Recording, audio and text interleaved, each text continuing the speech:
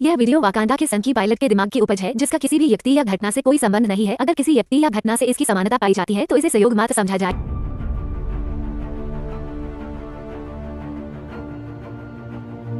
अब तक आपने देखा कि किस तरह गली मोहल्ले की लड़ाई में रेफरी का काम करने वाला सीधा सा बच्चा संदीप महेश्वरी से मोटिवेट होकर रेलवे में पॉइंट्समैन बन जाता है।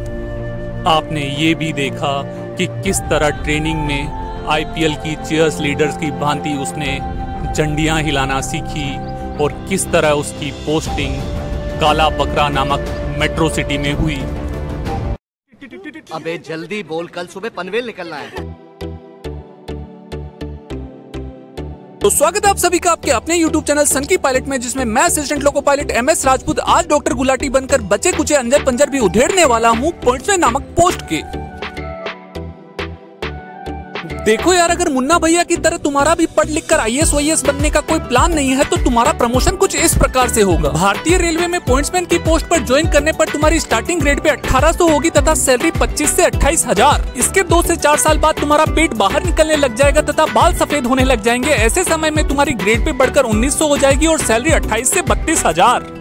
इसके 10 साल बाद जब तुम्हारे बाल गायब हो जाएँगे और दाढ़ी सफ़ेद होने लग जाएगी, ऐसे समय तुम्हारी ग्रेड पे बढ़कर चौबीस हो जाएगी और सैलरी बत्तीस से चालीस हज़ार। और इसके 10 से 15 साल के बाद भी तुम ज़िंदा बचे रह गए या रिटायर नहीं हुए तो तुम्हारी ग्रेड पे बढ़कर 2800 हो जाएगी और सैलरी 50 से साठ हज़ार। लेकिन अगर तुम चतुर रामलिंगम स्वामी की भांति नौकरी के बाद भी पढ़ने का दम रखते हो तो नौकरी लगने के जस्ट दो दिन बाद ही तुम जनरल डिपार्टमेंटल कम्पिटेटिव एग्ज़ाम बोले तो जीडीसी का एग्ज़ाम दे सकते हो। जीडीसी एग्ज़ाम पास करने के बाद तुम 1900 ग्रेड पे वाला एएलपी 2800 ग्रेड पे वाला गार्ड 3600 ग्रेड पे वाला टीटी और 4200 ग्रेड पे वाला स्टेशन मास्टर आसानी से बन सकते हो। यही नहीं, अभी और सुनिए। इसके अलावा अगर तुम्हारी सर्विस तीन से पाँच साल हो चुकी है तो तुम लिमिटेड डिपार्टमेंटल कम्पिटेटिव एग्ज़ाम बोले तो एलडीसी का एग्ज़ाम देकर डायरेक्ट ऑफिसर भी बन सकते हो। एलडीसी एग्ज़ाम की सबसे बड़ी खासियत ये होती है की इसे रेलवे में पॉइंट्समैन और टीटी जैसे कुछ चुनिंदा लोग ही दे सकते हैं। एक बार एलडीसी का एग्ज़ाम क्लियर करके पॉइंट्समैन से गार्ड बनने पर रनिंग रूम में तुम्हें जो सुविधाएँ मिलने वाली है, उन सुविधाओं को देखकर तुम्हारे ऊपर ऑर्डर चलाने वाले मास्टर को जो तकलीफ़ होने वाली है, उसका एग्ज़ाम्पल मैं तुम्हें अभी दे देता हूँ। हमारे दो पॉइंट्स गार्ड बन गया है, अभी अभी गंगा अच्छा कौन कौन सर एक दो एक वो क्या नाम है एक हाँ। गार्ड बन गया अभी।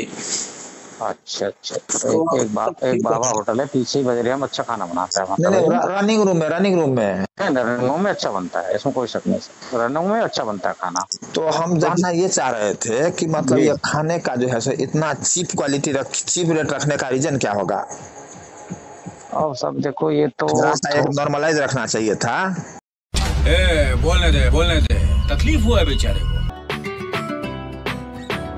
साइन ऑन के समय लोको पायलट असिस्टेंट और गार्ड को मास्टर के द्वारा एक लव लेटर दिया जाता है जिसमें साफ़ लिखा होता है कि लोंडो तुम्हें ट्रेन की स्पीड किस पॉइंट पर कम करनी है। रेलवे की भाषा में इसे क्वेश्चन ऑर्डर कहते हैं और मास्टर का ये पैगाम लोको पायलट तक पहुँचाने का काम जिस डाकी के द्वारा किया जाता है उसे पॉइंट्समैन कहते हैं।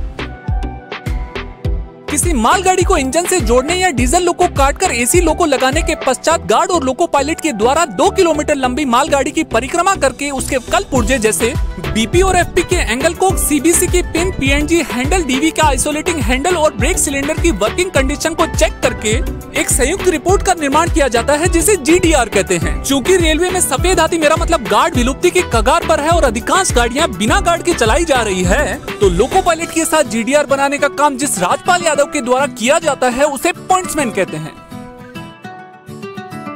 जब किसी इंजन का ट्रेन या मालगाड़ी के साथ संभोग कराया जाता है कैसी अपमानजनक बातें कर रहा है लड़का ये? अश्लील है ये लोना ऐसे समय में सीबीसी कपलिंग को ठीक किया जाता है बीपी तथा एफपी पाइप को जोड़ा जाता है तथा लोको पायलट के सामने झंडी लेकर कुछ गंदे गंदे इशारे किए जाते हैं। और रेलवे में ऐसे गंदे गंदे इशारे करने वाले निर्लज जीव को ए, point- ए, ए, मैं नहीं तो कौन बे?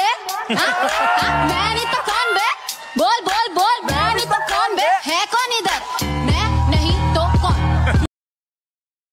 जब भी कोई ट्रेन किसी स्टेशन बाउंड्री से होकर गुजरती है तो स्टेशन मास्टर और पॉइंट्समैन अपनी अपनी झंडियाँ लेकर उसे ताड़ने लग जाते हैं। मेरा मतलब जाती हुई ट्रेन के हैंगिंग पार्ट्स को बारीकी से ऑब्ज़र्व करते हैं, रेलवे की भाषा में इसे सिग्नल एक्सचेंज करना कहते हैं। सिग्नल एक्सचेंज के दौरान ही मयूर शेल के नाम के पॉइंट्समैन ने महज तेरह सेकंड में पटरी पर गिरे बच्चे की जान बचाई थी। वहीं कूली नंबर वन मूवी में इसी काम को करने के लिए वरुण धवन ने तेरह मिनट लगा दिए थे। बेटा। बहुत बढ़िया मुन्ना। जब किसी ट्रेन को इंजन से काटकर अलग किया जाता है तो बिना इंजन के ट्रेन को पूरा स्टेशन सूना सूना लगता है। मरेंगे तो इन्हीं के साथ जिएँगे तो इन्हीं के साथ। इन, शादी भी करेंगे। इन्हीं के साथ हमको जो करना है कैसे भी रखे हमको नून रोटी खाया चाहे हम मर भात खाए ठीक है, हमको इन्हीं के साथ रहना है। मास्टर को ये डर हमेशा से लगा रहता है कि इंजन के प्यार में पागल ट्रेन डब्ल्यू फोर को ढूँढने के लिए स्टेशन से अकेली रवाना न हो जाए। और इसलिए ऐसी अकेली पड़ी अबला ट्रेनों के हैंड ब्रेक को बंधवाया जाता है, इनके चक्कों के नीचे आयरन स्किड लगवाई जाती है तथा इनके एक्सल को चेन से बंधवाया जाता है। रेलवे की भाषा में इसे लोड स्टेबल करना कहते हैं और अकेली पड़ी देवसेना को जंजीरों से बांधने का काम जिस कटप्पा के द्वारा किया जाता है, उसे पॉइंट्समैन कहते हैं। जब कोई सिग्नल रेड एस्पेक्ट में खराब हो जाता है तो पॉइंट के सेट और लॉक होने की कोई गारंटी नहीं होती है। इसलिए मास्टर के बार बार वोकी टोकी पर बुलाने पर भी लोको पायलट आगे बढ़ने से साफ़ मना कर देता है। बुलाती है, मगर जाने का नहीं। बुलाती है, मगर जाने का नहीं ये। ऐसे समय में पॉइंट्समैन अपनी झंडी लेकर जाता है पॉइंट को मैनुअली सेट और लॉक करता है और ट्रेन को सही सलामत स्टेशन तक लेकर आता है। रेलवे की भाषा में इसे ट्रेन को पायलट कराना कहते हैं और पायलट कराने का काम जिस नेक बंदे के द्वारा किया जाता है उसे पॉइंट्समैन कहते हैं। अगर बात इस जॉब के पॉजिटिव पॉइंट की की जाए तो सबसे बड़ा पॉजिटिव पॉइंट तो ये है कि एक सरकारी नौकरी है और भारत आपकी तारीफ़? जी कीजिए। अरे भाई करते क्या हो? जी प्यून हूँ। अब एक प्यून से शादी करूँगी क्या मैं पापा? छोटी बच्ची हो क्या? सरकारी प्यून हूँ। जी इतने दिन से कहा थे आप? और भारतीय समाज में सरकारी नौकरी की इतनी इज़्ज़त है कि तुम्हारे ऐसे ऐसे और ऐसे होने के बावजूद भी तुम्हें ऐसी ऐसी और ऐसी मिल सकती है। जीडीसी और एलडीसी एग्ज़ाम के थ्रू सर्वाधिक प्रमोशन के चांसेस पॉइंट्समैन के ही होते हैं। ग्रुप डी एग्ज़ाम से तुम्हारे साथ ही भर्ती हुए ट्रैकमैन जहाँ जंगलों में सांप पकड़ रहे हैं ट्रैक मशीन असिस्टेंट बंजारे बन गए हैं। लेकिन तुम्हें अपना स्टेशन छोड़कर कहीं बाहर जाकर ड्यूटी करने की कोई आवश्यकता नहीं है। अगर बात इसके नेगेटिव पॉइंट की की जाए तो पॉइंट्स में स्टेशन मास्टर के अंडर में काम करने के कारण कई बार स्टेशन मास्टर उसे रेलवे सर्वेंट के स्थान पर अपना पर्सनल सर्वेंट समझने लग जाता है। लेकिन जिस दिन पॉइंट्समैन के आत्मसम्मान को ठेस पहुँचती है और वो विकराल रूप धारण कर लेता है, उस दिन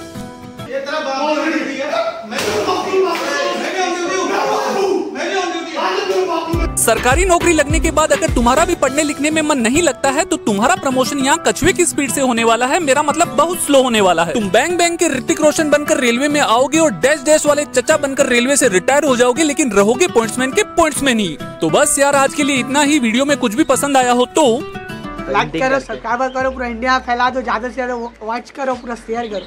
क्या बोलते हैं मेरी पब्लिक हक से फुल कुछ कुछ।